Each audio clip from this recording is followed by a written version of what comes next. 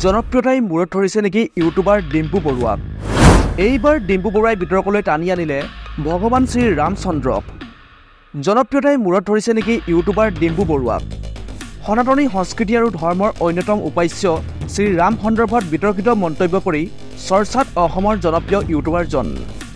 যোৱাকালি উদ্বোধন কৰা হ'ল সৰ্বশ্ৰী ৰাম মন্দিৰ।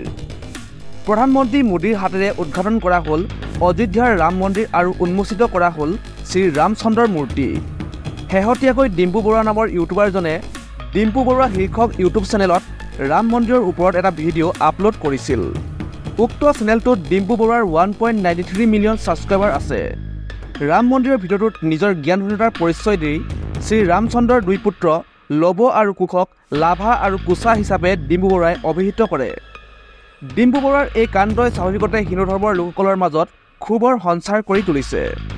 এজন ছ'চিয়েল মিডিয়া ইনফ্লুৱেঞ্চাৰ হিচাপে ডিম্পুৰ অধ্যয়নৰ সীমাবদ্ধতাই কোটি কোটি জনতাৰ হৃদয়ত আঘাত দিছে। এই ভিডিঅ'টোৰ পিছতে এতিয়া ৰাইজে ডিম্পু বৰুৱাক বয়কট কৰিব লাগে বুলি বিভিন্ন নেতিবাচক মন্তব্য আগবঢ়াইছে। আপুনিও ডিম্পু বৰুৱাৰ এই ভিডিঅ'টোৰ ওপৰত নিজৰ মন্তব্য আমাৰ কমেণ্ট বক্সত আগবঢ়াবলৈ নাপাহৰিব। News desk report Assam media twenty four.